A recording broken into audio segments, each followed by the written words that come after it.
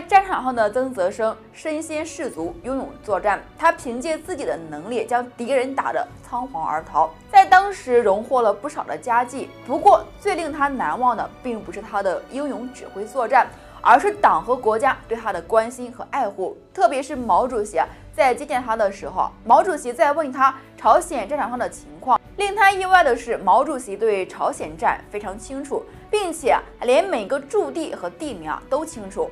每个问题都把曾泽生问得语无伦次，没一会儿就面红耳赤。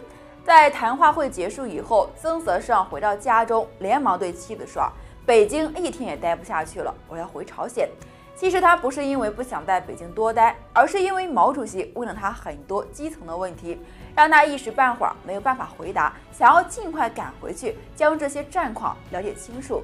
一九五五年，在授衔仪式上。曾泽生被授予了中将军衔，并且还获得了解放军勋章。